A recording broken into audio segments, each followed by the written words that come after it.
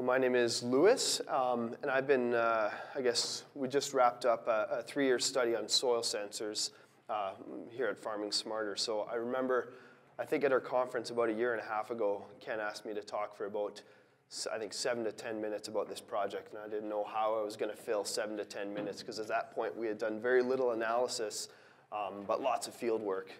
So today my problem was the opposite. I don't know, I don't know how I'm going to contain myself to 10 minutes. So we'll see, we'll see how it goes.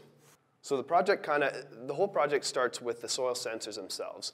So we were able to obtain uh, Veris and EM38 machines, and both of them, they measure soil conductivity.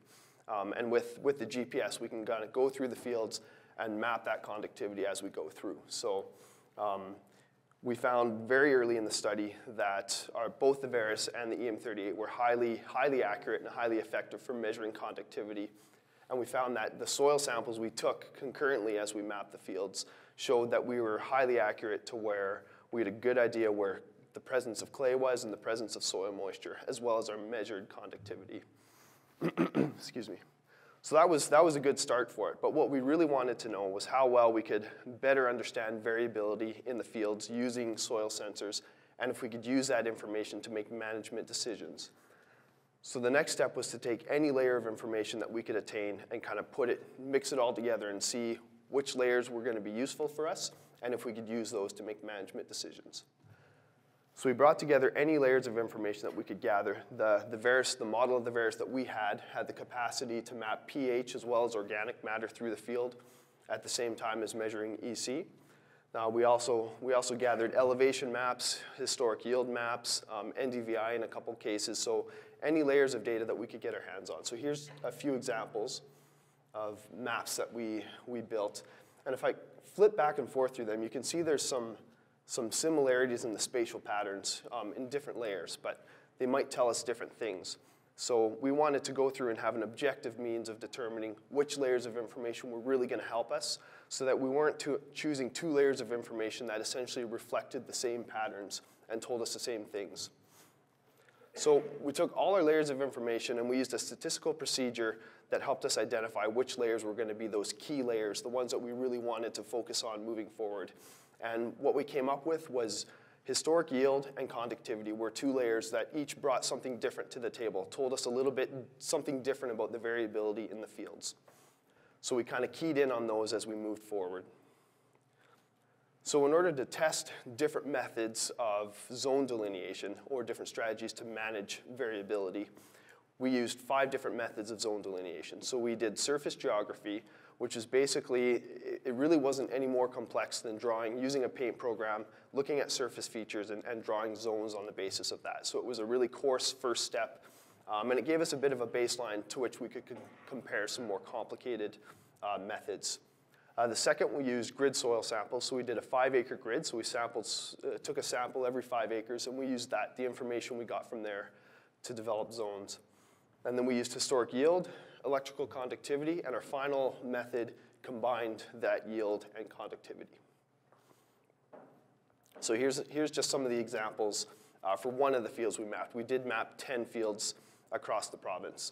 So surface geography, and then we nested it into a grid geography grid soil samples, and that's what our zones look like there. Historic yield, conductivity, and our composite, which was yield and EC. So we came up with five different methods of delineating zones, and we tested all five in 10 different fields. And the way we tested them was each field we seeded with a variable nitrogen trial. So five different rates, or, or a range of rates of nitrogen, wasn't always five, was applied to each field. So 0, 75, 100, 125, and 150 pounds of nitrogen seeded into the field. And then at the end of the season, we harvested this field and kept, that, uh, kept the yield map from, from harvesting the field. So that let us know, so for each area of the field, what the rate of nitrogen was applied and what that area um, yielded. So use, doing, um, designing our study this way allowed us to take all of our zone delineation methods and we could draw them onto this trial. So we could draw, in this case, surface geography. We could, oops,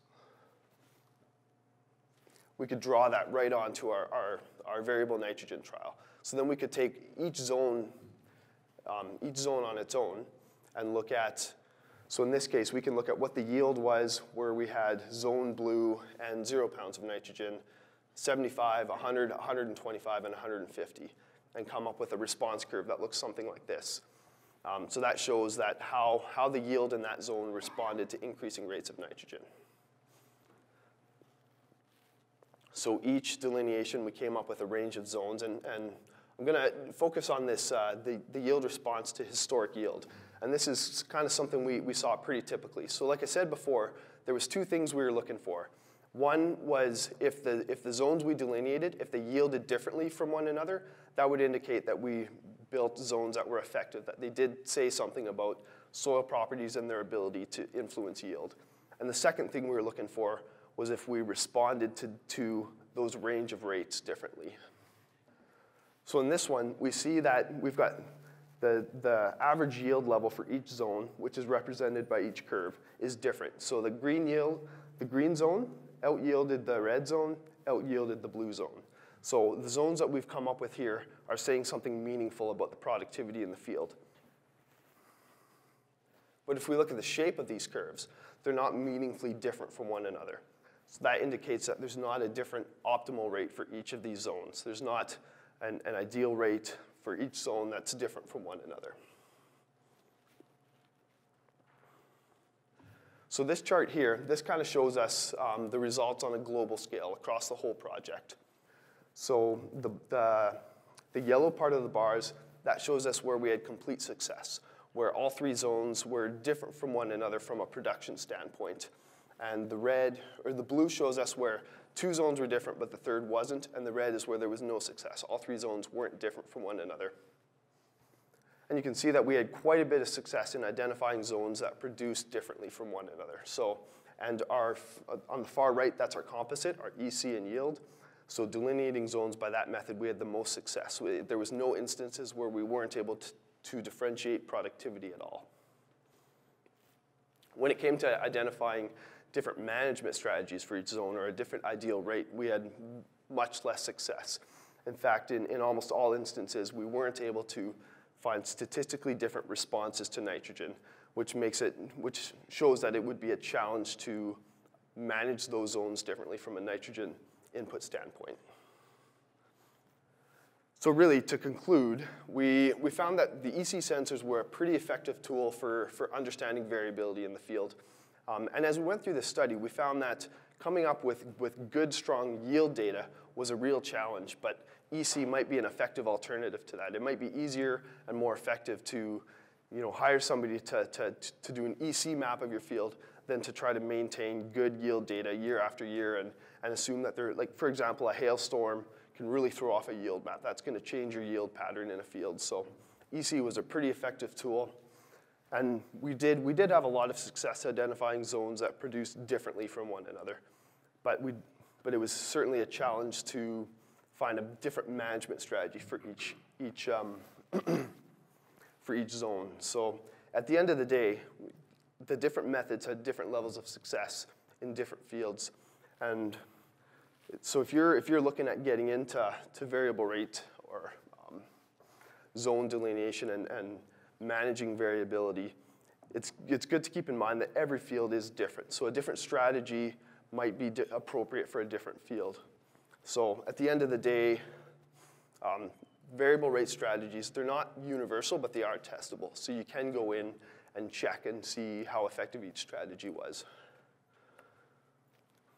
So with that, um, if anybody has any questions, I'd be happy to answer any.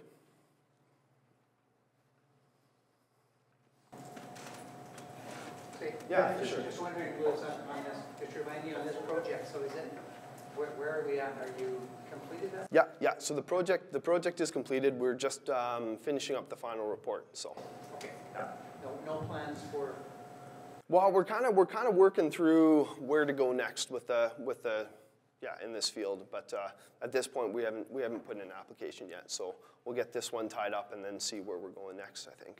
So just one more question. It's Yeah. on organic matter sensor. Was it, how was the pH in organic matter? Well, one of the we- we did have challenges with the pH sensor. So our study wasn't designed to measure point-on-point accuracy of those sensors, but we did find that our measurements were highly consistent. So all the fields were mapped at two times. So our pH map from time one was highly consistent. The pattern was highly consistent to mapped in, in time two. So that tells us something about the pH sensor. Um, the organic matter sensor, we, we did have some logistical problems with the, man, or the organic matter sensor. So it's, a, it's, a, it's an optical sensor, um, and it, it gets right in, right on the soil. And we often had that sight glass crack on us. So there's questions as to the accuracy of those organic matter readings, but so tough for me to comment on how well. But, but operationally, it was a bit of a challenge sometimes, depending on you know, the, how much rocks in the field that we were mapping. So. How much is this data in uh, Uh, that's something, that's one of the next steps we're kind of working towards. So we've got a, a research scientist on, on contract, and that's one of the things we're going to be looking at uh, putting together in the next year or so.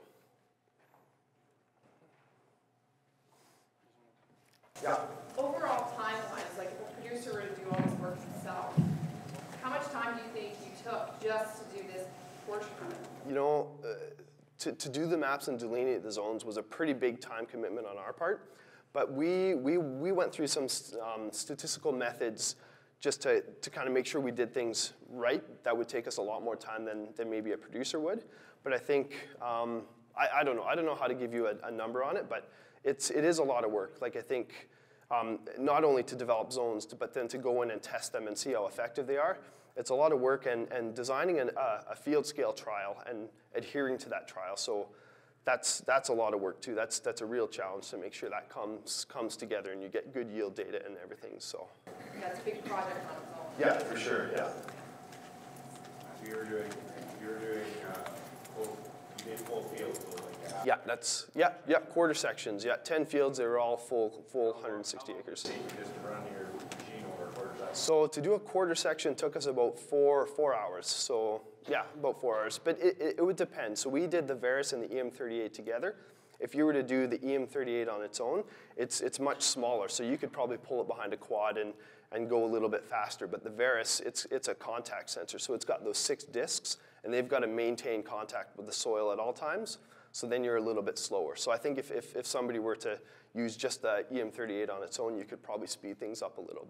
But for, us, it was about four hours for a field. Four hours of just collecting the data, and then probably a, a little bit of time cleaning it out and whatever in the office after. So